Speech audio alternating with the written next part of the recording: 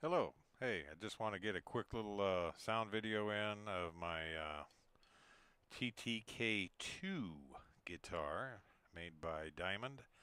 Uh, I'm going to have another video up that goes more in depth on the uh, modifications I did. Uh, but for right now, I just want to get a quick little video of this guitar. Uh, you know, get some little sound samples in there, so forth. Uh, just show you that, yeah, it's definitely not stock anymore. Some major changes. All right, so uh, let's get to it.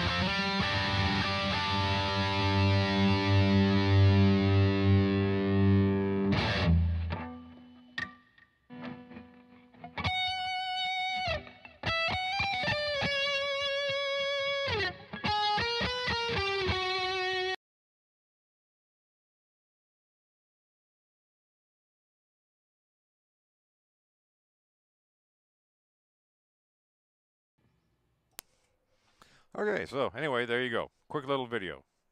All right. So, till next time, rock on. okay, bye.